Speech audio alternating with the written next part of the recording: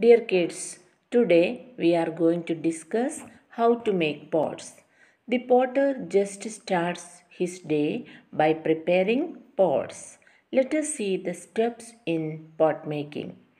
The clay known as potter clay is using to make pots. This clay is use, uh, is mixing with water and making it workable. We have to make sure that all the air bubbles are removed from the clay. Place the clay in the middle of the potter's wheel. Tap the center by dry hand. While the wheel is turning slowly, hands get wet. We have to push clay towards the center. If the clay is not placed in center, we cannot make a nice pot.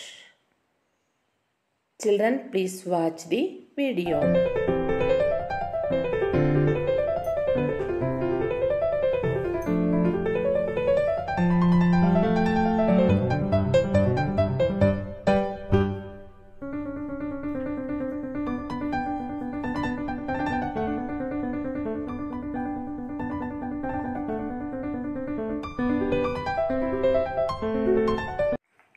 Baking pots.